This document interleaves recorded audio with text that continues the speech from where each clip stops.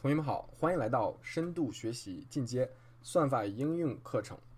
那么在上一节课呢，我们跟大家介绍了如何用 Python 来自己实现一个神经网络算法，并且其中主要的部分我们用这个梯度下降 （gradient descent），具体来讲的话是随机梯度下降，也就是 stochastic gradient descent 的方法来进行实现。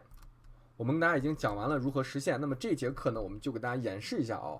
我们在实现好了这个神经网络之后，我们如何来利用它来运行它，来进行这个手写数字的这个识别哈。我们看一下识别的效率怎么样，并且我们中间的参数可以不断的调节来变化。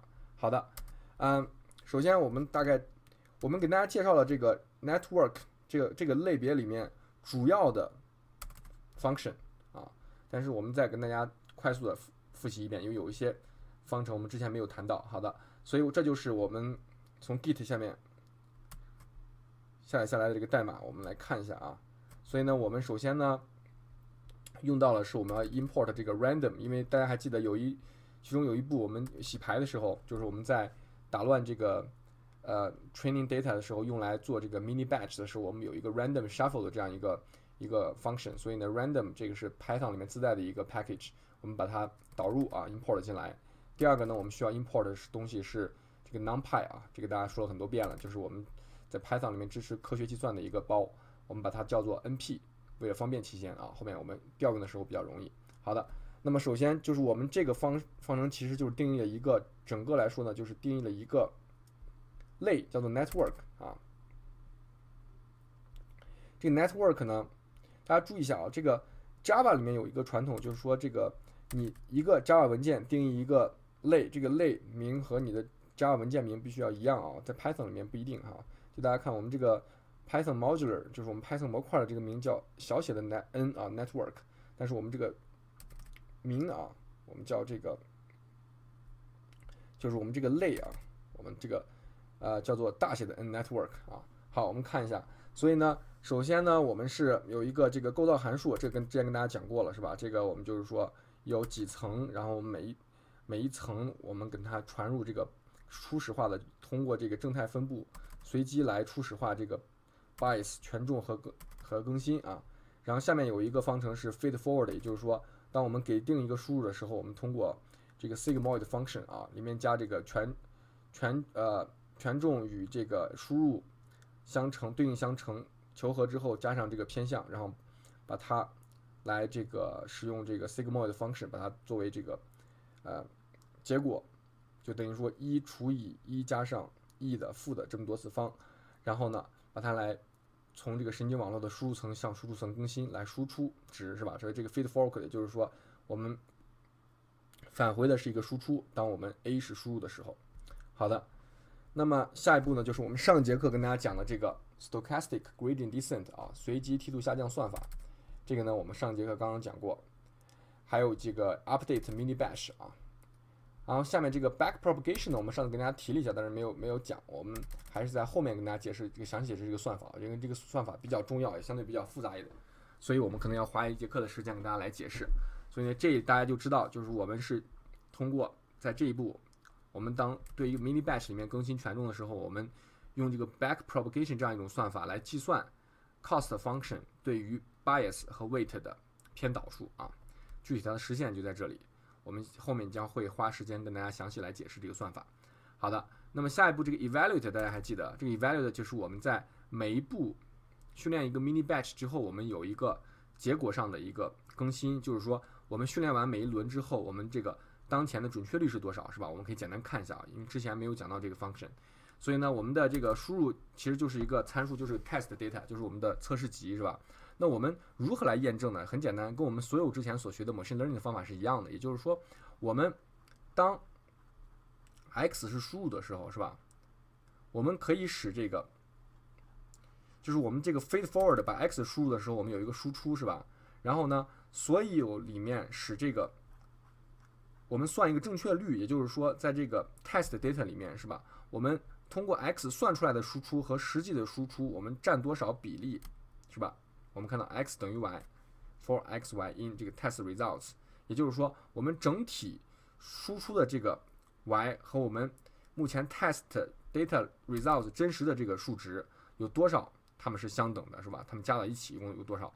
所以呢，我们知道这个测试集一共是有一万张图片，是吧？假如说我们有九千个是相等的话，那我们就对了九千个预测对了九千个，也就是识别出了九千个图，正确的识别出了九千个这个图片上的手写数字，那么正确率就是这个九千除以一万，是吧？就百分之九十。举个举个例子，所以这个 evaluate 就是算算我们的准确率，是吧？然后呢，这个 cost derivative 呢，它是一个呃简单的，就是说。我们要求一个偏导的方程啊，这个是我们这个 back propagation 里面要用的。我们这儿暂时先不跟大家解释了。然后这个 sigmoid function 呢很简单，就是我们之前定义的这个 sigmoid function。这个 sigmoid function prime 它指的是 sigmoid function 里面对它求一阶导数它的一个结果哈。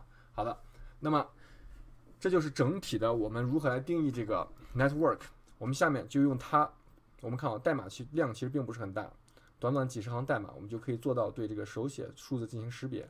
那么下一下面这一步，我们就开始来通过这个实实现好的 network 和我们要 load 的这个 Minist dataset，跟大家开始来看一下我们识别这个准确率怎么样。好，我们现在看一下啊，我们我我这单独写了一个 Python 的 modular 叫做 demo，所以我们还是要导入两个。模块是吧？一个就是我们之前给大家介绍的 Minist Loader，这个模块是用来下载数据用的，是吧？第二个呢，就是我们刚才实现好的这个 Network，我们把这个两个导进来之后，我们就可以用了啊。这个红线呢，大家不用担心，因为这个红线呢，就是说它我们用的是 PyDive，它有时候内部没有建立一些连接，所以它没有识别出来我们其实是已经实现的在同一个这个名这个位置下我们的另外一个模块，其实。程序运行只要没问题就可以，这里只是它没有识别出来。这个我们已经导入了，这个我们已经实现好了要导入的这个模块啊，这个没有关系。所以呢，下面我们看一下啊，我们首先第一个要调用的方程就是这个 minister Loader。我们还记得上节课我们讲有一个有一个数据有一个方程叫 Load Data Wrapper，什么意思呢？就是说把这个 minist Load 这个数据集下载下来以后，我们返回三部分是吧？有三个返回值，一个是 Training Data，它是一个 list。它里面有五万个 tuple，每一个 tuple 呢是一个 x y 的成对出现的，x 和 y 分别代表这个输入的这样一个实例，就是七百八十四乘一和十乘一的一个 vector。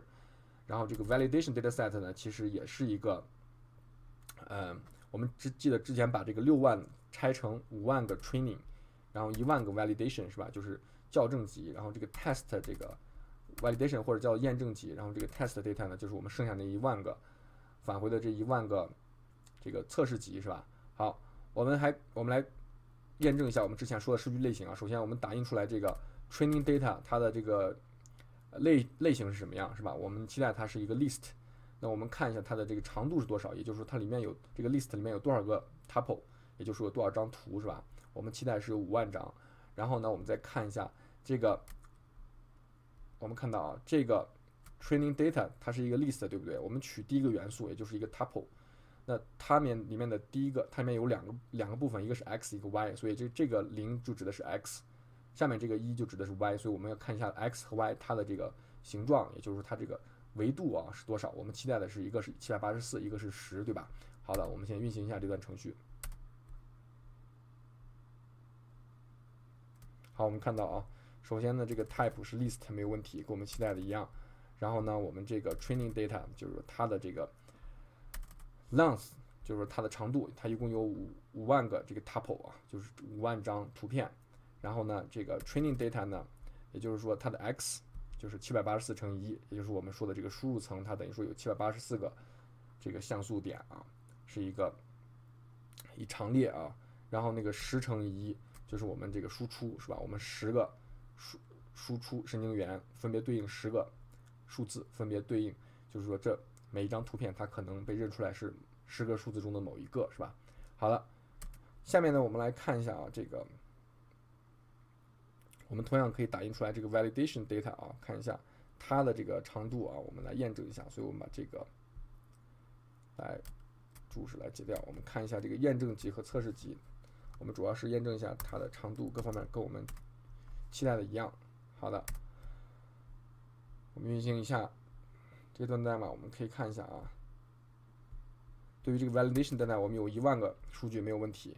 对于这个测试集，我们一万个数据没有问题。好的，那下面我们来就来通过这个 network 啊，我们来算一下，就是识别一下我们对于这个用这个训练集来训练，然后我们用测试集来测试，我们来看一下我们到底能识别出来多少张正确的图片啊。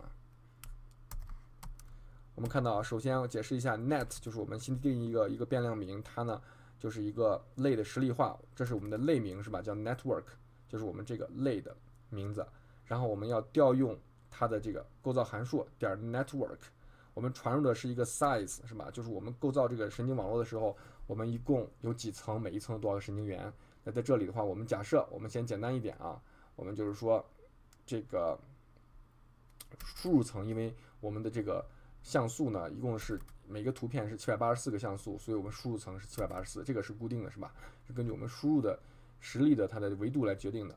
那么这个中间层呢，就是这个隐藏层是我们自己来定义啊。我们先可以少少定义一些这个神经元，我们假说随便用一个简少一点的数字三十吧。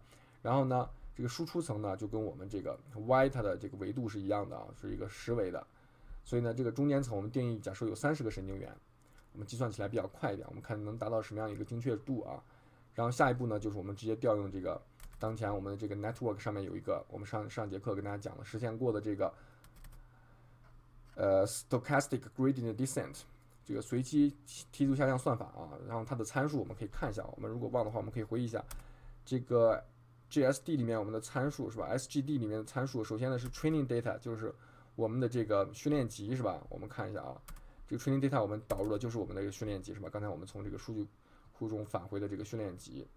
然后呢，第二个参数呢是除了 self，我们这里没有用到这个 self，就是我们。所以大家知道，Python 里面这个 self 它是默认的，所以我们这个参数对应的是这个第一个参数啊。好的，然后那个下一步我们看一下啊，是 Abcurs，就是说我们一共要训练多少轮？我们把所有 data x 的 data 耗光，算是一轮结束啊。这个轮数越多的话，它精确度我们期待的越高，但是在一定轮数达到一定轮之后，它就会收敛，收敛之后呢，精确度基本就变化不大了。所以呢，这个是我们手工人工根据这个，呃，先验知识来设定的一个值哈。我们假设在这里就让它训练三十轮吧，就让它停下来，好吧？这个终止呢，它其实有一系列条件，我们可以一定的轮数，或者我们根据错误的变化率达到一定的标准，我们就可以让它停下来。假设这里我们为了简单的一个实验的话，我们就设定让它跑三十轮，是吧？最多跑三十轮。然后呢，下一个参数呢，我们是这个 mini batch size，是吧？这个就是我们刚才讲的，我们。因为要用这个 stochastic gradient descent，所以我们把这个所有数据拆成很多 mini batch，看成一小部分一小部分。我们每一小部分要包括多少个实例，是吧？我们一共有五万个，那么这里面我们就定义十个，是吧？就比较简单，我们十个十个来，就是每次用十个来作为一个 mini batch，所以这个 mini batch 的 size 它是十啊。下一个这个就是我们就是学习率啊，叫 eta，eta 的话我们就假如说叫三等于三点零，如果是太太大的话呢？越大的话，它学习越快，收敛越快，但也有一个潜在的危险，就是它也可能不收敛，而是错误越来越大。因为它如果跳得太快的话，它可能就没有走到这个局部最优啊。如果越小的话，它就是学习的越慢。好的，那么最后一个参数呢，就是 test data 是吧？就是我们的测试集，测试集是我们现在传入的，就是我们之前漏了进来的这个测试集是吧？好的，那这是我们的神经网络，所以在训练的过程中呢，我们就不会。我们记着，我们之前实现的这个 stochastic gradient descent，它就会不断的打印出来，在每一轮结束之后，我们的这个准确率达到多少，是吧？我们现在来跑一下这个程序啊，我们来看一下。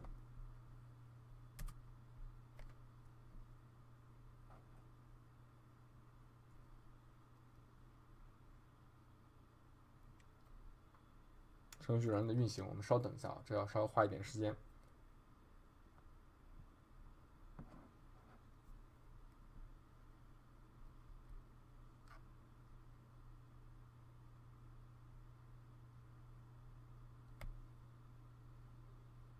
好，我们开始看到开始学习了，在第零，也就是第一轮的这个 Apker，我们达到就预预测对了这个九千零五十三个实例啊，一共有一万个，这已经相当不错了，所以我们就百分之九十的准确率啊。我们再看，经过下一轮训练，我们能不能提高目前的这个准确率啊？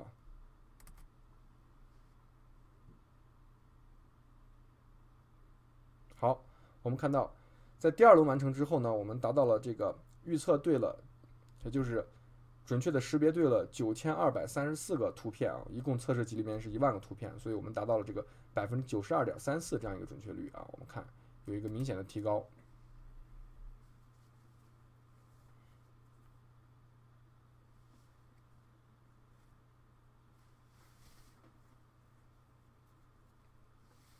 在第三轮呢，我们达到了这个九千三百二十个，也就是说比第二轮又提高了一些，是吧？我们达到百分之九十三点二零，也就是我们的错误率就是一减去零点九三二零，就是大概是百分之六点八。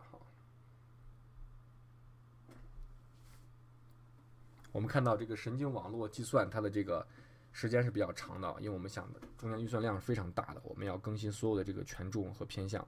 好，那么第四轮呢，我们已经达到就是。又提高了一点，是吧？从九九三二零提高到九三三三、九三三六，所以我们现在准确率达到百分之九十三点三六。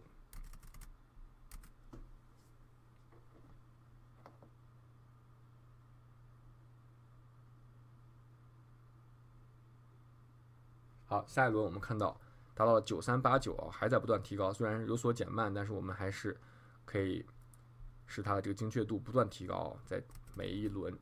过之后，我们还是精确度一直在增长，也就是说，换句话说，我们的错误率一直在下降。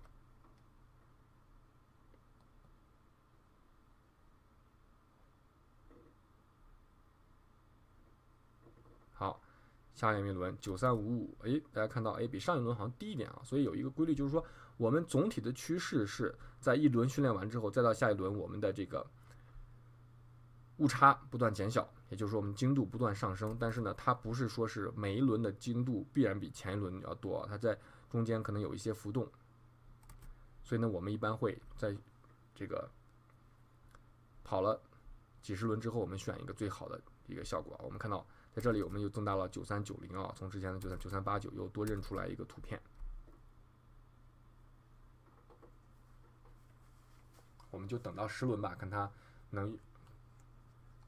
识别出多少图片是吧？因为我们设设置的这个三十是比较大的一个数字，所以呢，我们可以稍微再等上几轮，看一下我们的。好，我们现在看到，我们又提高了这个准确性啊，在第第七轮，实际上是第八轮，因为我们从零开始数，在第八轮之后呢，我们其实已经达到了百分之九十四啊，我们识对识别对了这个九十四九千四百零二张图片，在一万张之中哈。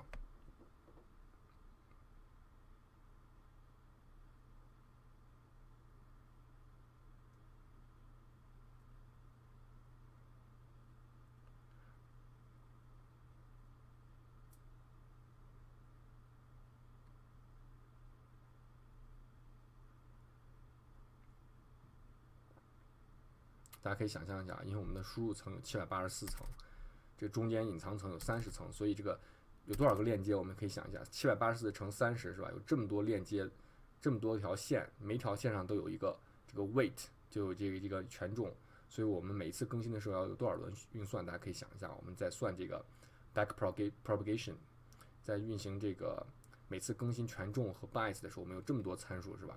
而且还三十和十之间，我们又有三百重。三百个连接，好的，我们看到还在不断增加，我们现在到百分之九十四点四九啊，九四四五、九四三零，目前最好的是这个九四四九，是吧？把百分之九十四这样一个效果，所以大家看到啊，我们这个实现了一个神经网络算法，用这个梯度下降，短短的几十行代码，我们就可以对这个手写数字数字的识别达到如此这样比较高的一个准确率啊，达到百分之九十接近九十五的一个准确率。那这样才是一个比较简单的这个 network 是吧？我们才是一个隐藏层有三十。那同学们可能会好奇一个问题，说这个隐藏层我们把它神经元再弄多一点的话，它会不会提高它的识别率呢？啊，包括我们这个学习 learning rate 这个学习率，它的变化又如何影响我们的这个这个精度呢？是吧？所以我们可以来试验一下啊，我们可以稍加改动来看一下。我们看到现在跑了十二轮，我们的这个精度已经达到最好的，已经达到这个九四六零了，百分之九十四点六了。好的，我们现在为了时间，我们现在暂时把这个程序中断啊，其实还没有跑完，我们要跑三十轮，但是我们看到大概它的趋势。好，我们现在精度达到百分之九十四点六是吧？这是我们最好的一个成绩。好的，那下一下一下一轮我们试一下调整一些参数，看一下它的的这个精度有什么变化啊？我们先终止程序，然后呢，我们看一下，假设我们现在把隐藏层从之前的这个三十个神经元改到一百个神经元啊，按理说我们应该会有很有可能会得到更好的结果，对不对？因为我们学的更细致，在中间这一层，那它是不是越大越不好呢？也不一定，它太多的话可能就是 overfitting 了，是吧？所以呢，我们就是说从输入层到输出层的链接更多了，可以学得更细致，然后从输出层到输从这个隐藏层到输出层也链接更多了，因为我们的输隐藏层之前我们设了三十个神经元，那在这里我们设置了一百个，是吧？然后呢，底下这个呃 gradient descent 我们这个参数保证不变啊，还是每一轮有十个 mini batch 有十个。然后学习率是这个三点零哈，我们一共有三十轮，我们看一下这次这个有什么变化啊？我们可以从两方面来考察，一个就是我们在训练每一轮的时候，我们大家看一下这个时间上是不是比之前更久了，也就是说更慢了。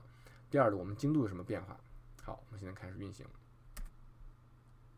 大家可以想象，我们现在在隐藏层从三十变成一百个神经元了，那它和之前的链接要多出多少倍是吧？多出了七十。以前是七百八十四乘三十，现在七百八十四乘一百是吧？有多少多少个参数，多少多少个 weight 和 bias？所以呢，我们应该期待现在训练的这个速度要比以前慢是吧？也就是说，我们的这个总时间要花的比以前更长了。我们稍微等几轮，看一下我们训练出来这个精度怎么样啊？就是到底能识别出多少个数字是对的。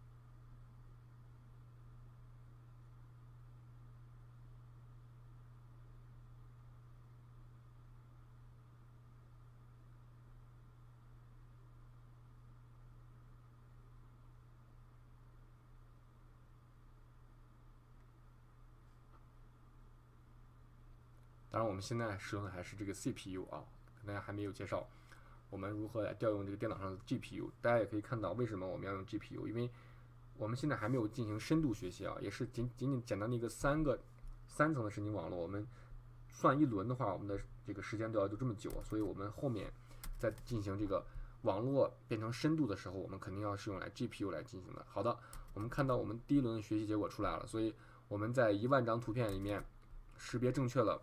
正确识别了七千四百一十二张啊，这个第一轮的结果看似没有我们这个我们这个呃隐藏层为三十的时候结果好，但是这里面是有一些随机的因素的，因为大家不要忘了，我们开始最开始设置这个初始化的这个权重和偏好的时候，其实是我们是随机来从正态分布中啊产生的是吧？所以这个就算大家每个人来运行同样的代码。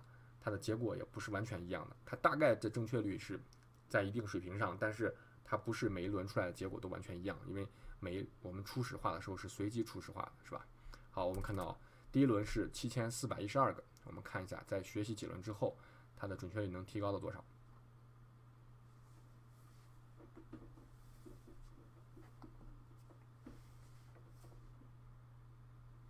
与此同时呢，我们顺便跟大家讲一下，在这个命令行如何。这个来做同样的工作，也就是说，我们如果不通过 IDE Eclipse，我们在命令行下来之后，我们同样可以这个跑类似的代码。我们看啊，第二第二轮结果出来以后，变成了七千五百八十四个，稍微提高了一些，是吧？好，那我们现在先把这些代码拷贝一下啊。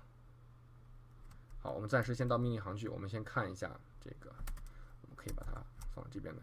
好的。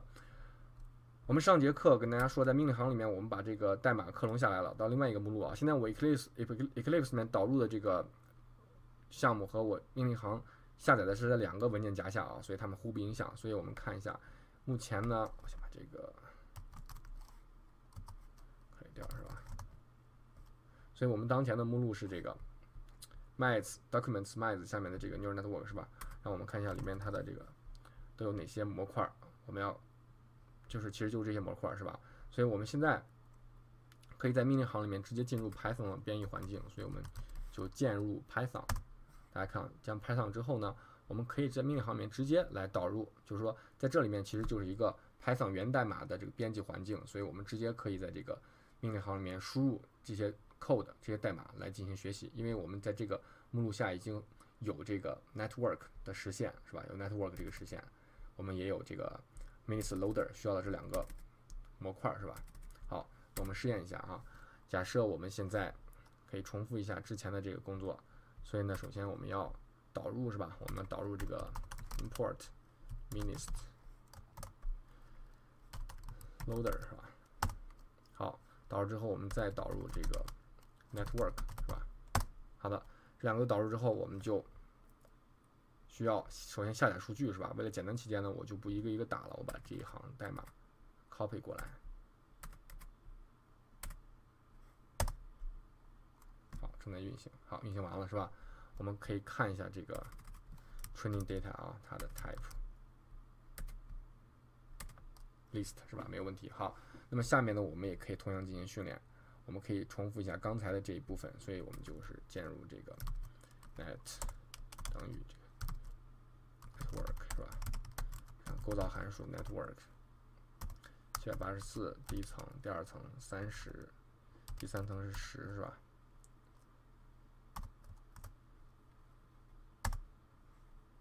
刚才我少打了一个 t 啊，ne 那无所谓了，我们就用 ne 训练就行了，我们把它当做 ne，然后 sgd stochastic gradient descent 是吧？我把这一行 copy 一下吧。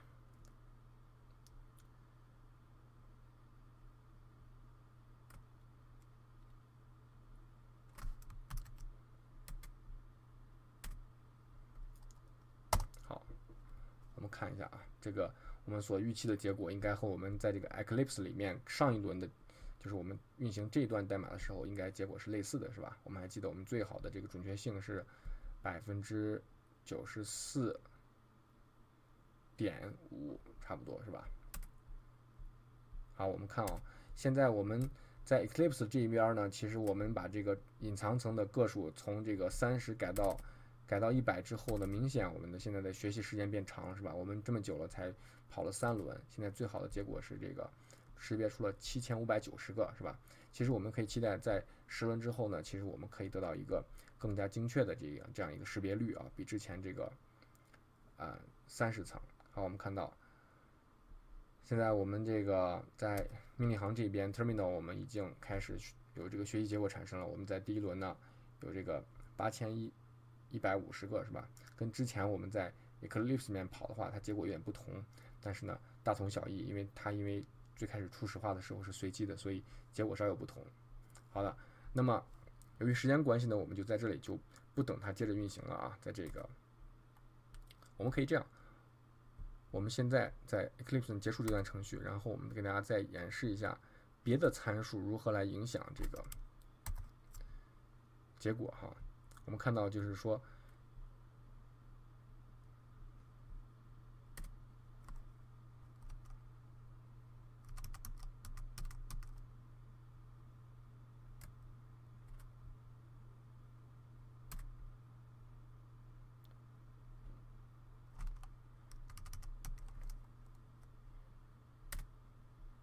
我们看到啊，就是这个，我们如果之前我们的学习学习率不是三三点零嘛，那大家可能会好奇，就是我们把这个学习率啊，就是这个 eta，假如说调的更低的话呢，它的结果会怎么影响呢？我们可以看一下啊。好，由于这个我们把这个中间这个隐藏层设置成一百个神经元的话，它的速度非常慢，所以我们可以尝试把它。改回到三十个，就跟第一轮的结果一样，但是我们把学习率从之前的这个三点零啊，改成一个非常小的数字零点零零一，所以我们看一下它的表现和之前我们跑的有什么区别啊？正好我们可以这对照一下，因为在这个命令行这一面，我跑的也是这个隐藏层是三十个神经元，它的一个结果，所以我们在这里呢对比一下，只是把这个学习率从这个三点零变成零点零零一，我们看一下结果如何哈。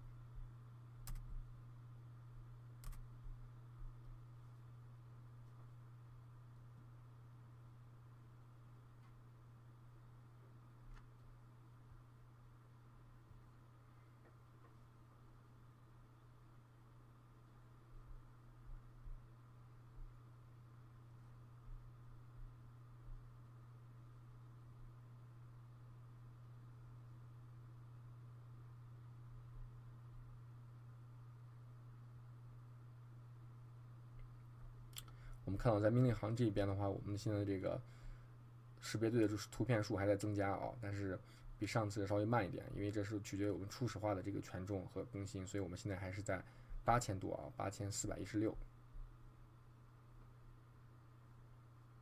然后 Eclipse 这边呢，刚刚在还是开始跑，还没有出现这个学习结果啊。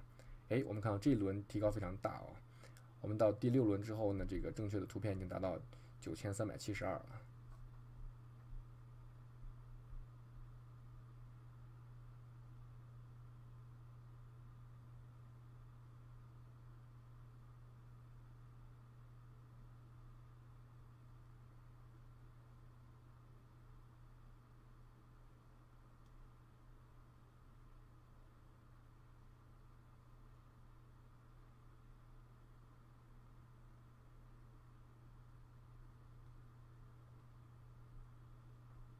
好，下第七轮出来有一点小的更新，达到九千三百七十六。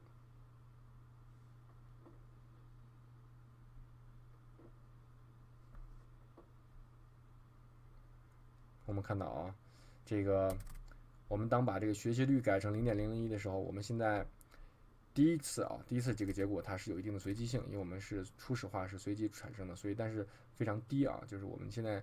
在这个 Eclipse 这边呢，我们第一轮结束之后，只识别对了八百八十二个啊，在一万个里面只识别对了八百八十二个图片。我们看一下，在跑几轮之后，它这个识别的图片的个数如何增长啊？因为我们现在定的这个学习率非常非常之低，只有零点零零一，所以我们可以期待，就是它学习的这个速度应该是比较慢的啊。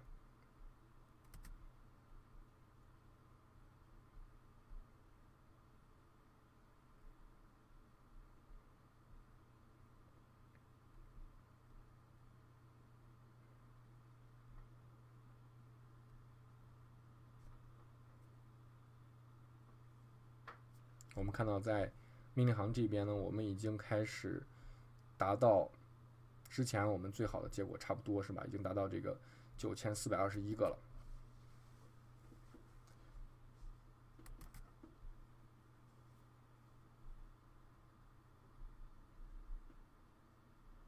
那么，在这个 Eclipse 里边，我们仍然还在跑。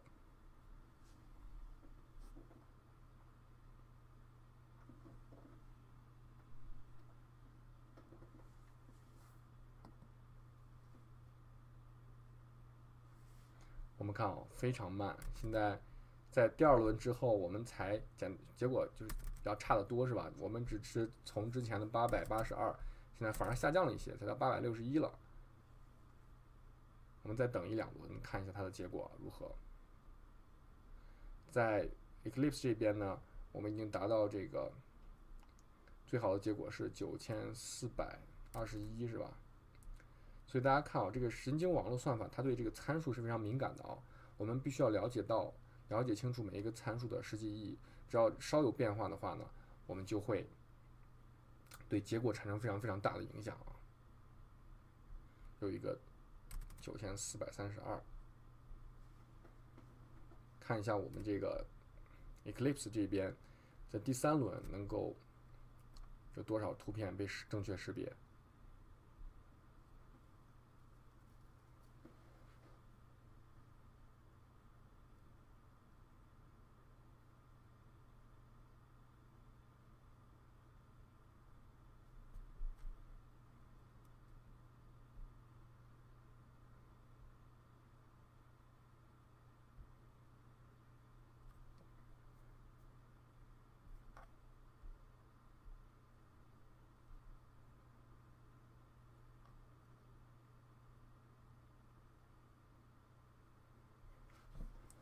这等待的时间，哎，我们看一下啊，增大到这个九百零九个，仍然是非常慢。我们看到还是有学习在发生，但是因为我们把这个学习率啊，learning rate，也就是这个 eta 定的非常低，零点零零一，所以我们现在这个学习它的这个表现非常差，而且它的增长非常非常慢啊，这是我们得到的一个结论。那么后面呢，我们现在暂停一下，我们就不等它接着学了。同学们有兴趣可以自己去跑下面的程序来看一下，在多轮之后我们的学习结果如何。那么还有一个问题就是说。我们现在这个，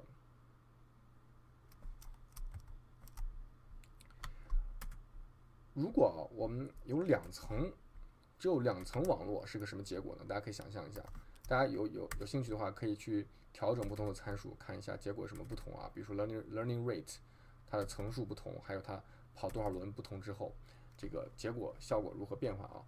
还有一个有趣的是，就是说我们之前给大家介绍这个，我们目前实现的这个神经网络，它是有三层是吧？也是比较简单的一个，但是。我们能不能再简单呢？假如说我们现在这个神经网络只有两层，就是一个输入层是它的像素七百八十四个神经元，然后直接通过中间的这个 sigmoid function 这些网络连接，直接就输出这个十，就是它输出层。我们去除掉隐藏层，那效果会怎么样呢？我们可以想象一下啊，我们从三层变两层的话，它没有中间这一层过渡的话，它的准确率估计我们预期应该会低一些，对吧？所以我们有兴趣可以跑一下，对吧？我之前也做了个实验，给大家可以介绍一下。我们看一下，我们现在就是传入的这个神经网络就两层，输入层输出层，别的所有东西都一样。我们还是有三十轮，我们这个 mini batch size 还是十，我们的这个 learning rate 还是三点零啊，跟我第一次设置是一样的。我们看一下它的准确率大概是什么样子的啊？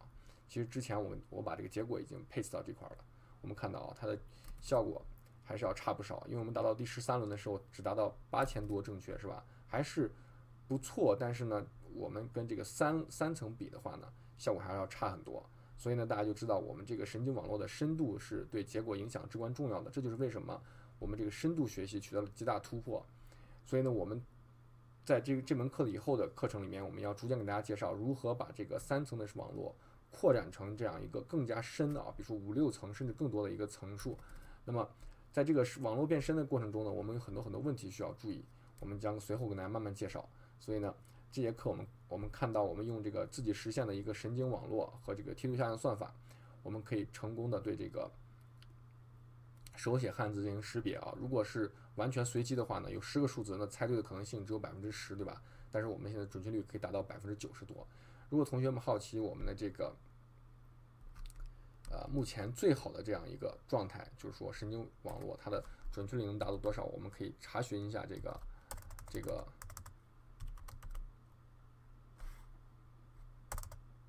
MINIST DataSet 的这个官网啊，它有这个历年那个竞赛，现在能达到最高的精确度可以达到多少？我们可以看一下，历年的这个结果是吧？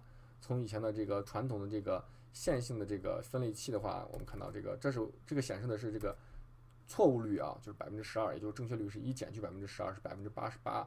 我们看到，然后后来有人用这个 KNN 的算法来算，我们精确率达到有降低在。这个错误率降到百百就是百分之一点三三啊，已经不错了。然后有人用这个 KNN 做到这个，用这个非线性的这个 deformation 可以达到零点五二，已经非常好的成绩。然后呢，后面我们看有各种各样的算法，SVM 出现了。然后 neural nets Neural Nets 呢，Neural Network 可以把我们看最好的成绩在哪里是吧？这儿达到零点三五了啊，这是就是正确率达到百分之九十九点这个六五这么高啊。我们看一下它是哪个算法呢？是用这个呃六层的这个 neural network 实现的，是吧？而且是这就是每一层它有多少个神经元？我们看啊，非常复杂，是在 GPU 上实现的。所以呢，我们这个已经达到这么高的精确程度啊，是用这个 deep learning 方法来实现的，在二零一零年。我们看有没有还有超过它的，是吧？我们现在是零点三五是最低的。我们看到啊，在这里已经达到这个零点二七了啊。零点二七正负误差零点零二，也就是说，在这个新的 convolution neural network 里面，我们把这个错误率再一次降低啊，再次刷新了这个正确性到零点二七这样一个准确率。所以我们看到这个深度学习这个神经网络它是非常的这个强大的。也就是说，我们对手写汉字这个问题达到这种识别率的话，跟人的肉眼差别已经不大了。所以呢，目前其实在这个美国的这个，比如说邮政。